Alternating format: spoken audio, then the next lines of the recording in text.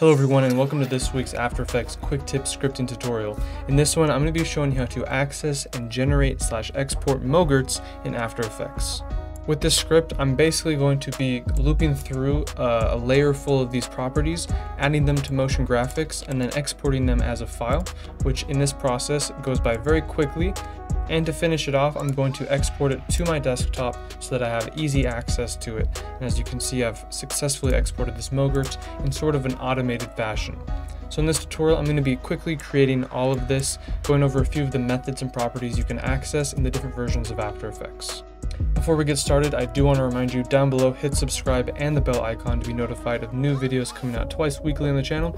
And down in the description, you can check out the code for this in the GitHub link, as well as follow us there for coding updates. And down in the description as well, you can follow us on Instagram for other live updates. If you want to get more out of your learning and continue, you can join our Discord server and get help, as well as join these cool channels like scripting, extensions, plugins, expressions, and many more. And if you want to help support the YouTube channel, you can become a member, supporter, premium supporter, or VIP and get cool perks with them. So first, let's look at what we can actually do and access inside of After Effects with a motion graphics uh, template. There are limitations in different versions, so it is good to know these. So first, let's start at After Effects 15.0. Uh, this is the first version that supported any type of scripting access to motion graphics. What we have access to is the motion graphics template name, uh, the ability to export as a motion graphics template, the ability to open a composition up inside of the motion graphics uh, panel, uh, the ability to add a property we have selected or chosen uh, to the template, but no ability to change the name, do note that. And also lastly, the ability to uh, be able to add this property or composition to the motion graphics template. But in a newer version, uh, in the update over here for 16.1, we have very useful updates. So I highly recommend using the newest version available of After Effects because these methods and properties are the most valuable here. First, we have the ability to count how many controllers or properties are inside of our current uh, motion graphics template.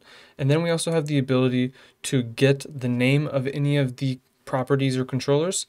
And then the last two are very important. One, we have the ability to set the name of our motion graphics template, uh, which will allow us to customize a little bit more in depth. And we also have the ability to add to a motion graphics template as, which allows us to add a property to the motion graphics template with a specified name of our choosing. Previously, you could only add elements to the motion graphics template, and there's no way to change the name. So that's very important, and we're going to be using that feature today to make it super easy. The way I have my setup today here is in After Effects, I have this lower third here, and it has a control null, which contains a whole bunch of uh, basically expressions that are linked to these effects and I want each of these effects to be part of my MOGRT template. Maybe I want to export this for Premiere, and I want each of these to be automated and just basically the same thing as dragging them into the panel over here. So we want to automate this with a script.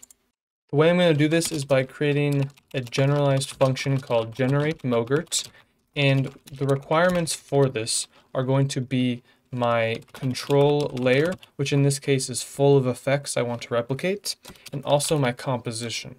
And then to run this, I'm going to just say generate MOGRT. And for control layer, I'm going to give it my app.project.active item. And in this case, it's our first layer.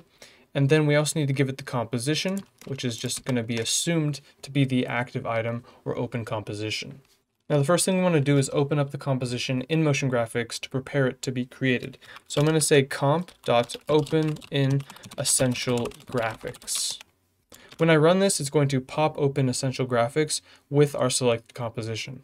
Then what I want to do is just loop through all of the effects on our control layer.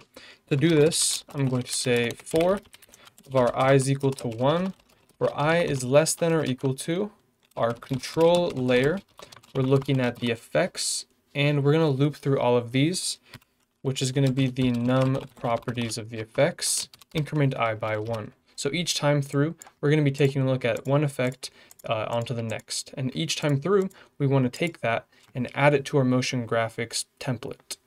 But we don't want to just add it to the motion graphics template uh, like we have in After Effects 15. As mentioned, we can add it to motion graphics template as, which gives us the option of basically giving it a string uh, or a custom name. So we need to give it the property.add to motion graphics template as. So we can just copy that. And the property is going to be control layer dot effect i. And all of these have one property. So we're going to bring in dot property one, and we're going to add this to the motion graphics template as, and the first argument is going to be the comp and then the name. So the comp we already have, called comp, and the name is going to be whatever the name of the current effect is. So control layer dot effect i dot name. Now if we've done this right and we run it, we should automatically have added all of these into the uh, interface here, which is super easy. Now all we need to do is go ahead and export these to a file. One other thing we can actually do as well is change the name of this if we want, the actual name of the motion graphics template. If you want to customize that, we can say comp dot motion graphics template name. And let's just call it now testing name out. And then if I go ahead and remove all of these, it should change the name at least. I'm not sure if it's actually changed the name internally, but it's not appearing necessarily here.